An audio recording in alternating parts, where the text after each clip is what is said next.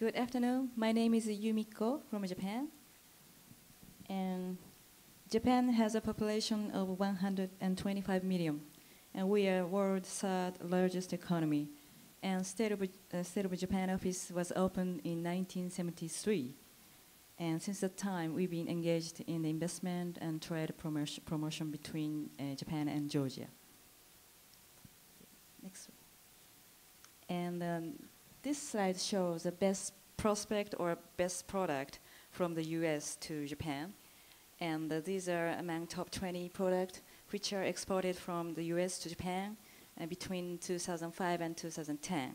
And as you can see, um, the like medical instruments, um, machinery, aircraft, chemicals, plastics, vehicles, paper and wood products. So uh, we consider Georgia companies are strong in measure of these product areas. So these are, uh, have a chance, potential in the Japanese market. And also uh, by my office research or hearings, uh, Japanese com companies uh, look for very unique or brand new or high quality product from the US in such areas as um, bio industry and or research laboratory areas. So these are the another areas that uh, US companies or Georgia companies should have should have a chance or potential in the Japanese market. And the next slide, please. And uh, in this slide, I'd like to talk about uh, how my office is doing for Georgia companies in Japan. Um, we um, basically we do a marketing research and looking for partners for Georgia companies.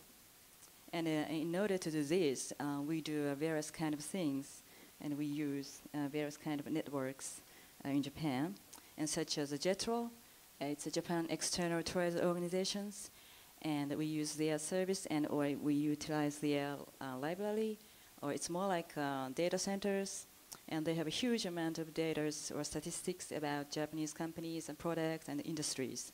So we can use those uh, data uh, by almost free of charge.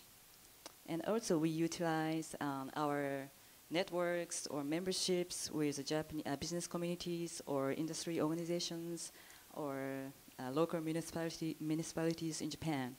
And they help us and they introduce us to any uh, companies or communities they cover. So it's helpful.